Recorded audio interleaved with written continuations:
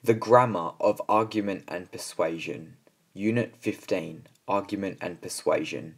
An argument is a statement or series of related statements that presents an opinion on a particular matter with the intention of persuading others.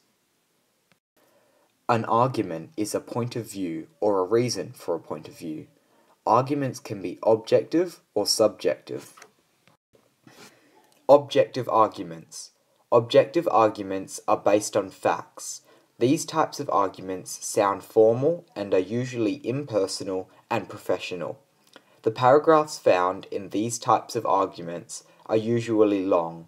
Nominalization is used in these arguments, along with words that are specific to the subject being argued. Nominalization. Nominalization is the changing of an adjective or a verb into a noun. For example, poor becomes the poor, judge becomes judgment, and admire becomes admiration. Examples of objective arguments. Example 1. The advantages of attending school can be seen through an increase in the test results of students throughout the course of a school year. Example 2.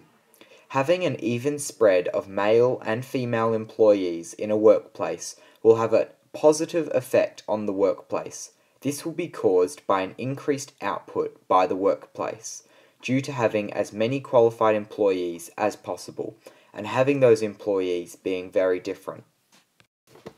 Subjective arguments. Subjective arguments are based on personal feelings and opinions. These types of arguments sound informal and use emotive language to create empathy for the topic.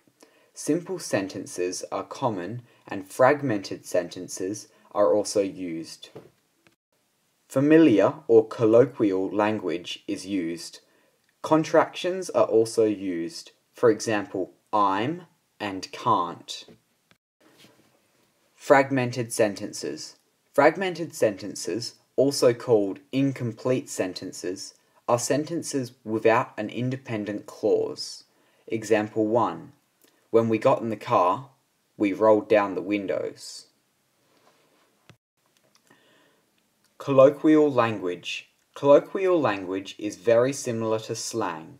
There are three types of colloquial language. These are words. For example, the use of the terms football and soccer in England and America, respectively, is a colloquialism.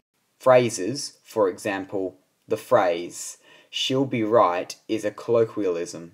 The phrases eat my dust and old as the hills are also colloquialisms. Aphorisms, for example, I wasn't born yesterday, and put your money where your mouth is, are colloquialisms. Examples of objective arguments. Example 1. Cats aren't better than dogs. They're emotionless, betraying animals. Example 2. Learning about history isn't a waste of time. You can learn lots of great things about the past and use it to shape the future. Do it yourself. Nominalization.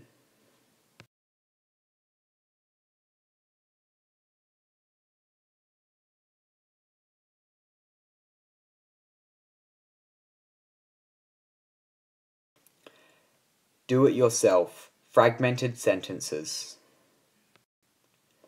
Do it yourself. Objective and subjective arguments. Answers. Nominalization. Hungry becomes the hungry. Develop becomes development.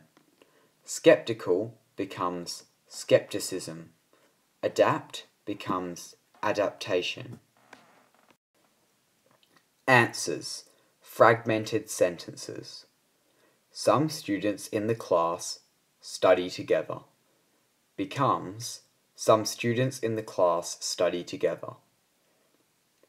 Mary had a brother who was sick. Becomes. Mary had a brother who was sick. I have a really bad car and the engine keeps failing. Becomes. I have a really bad car and the engine keeps failing. Answers. Objective and subjective arguments. The presence of iPads in a learning environment has beneficial and detrimental effects on learning. This is an objective argument. The man on the television isn't a threat to citizens in the area of Fremantle any longer due to his apprehension. This is a subjective argument.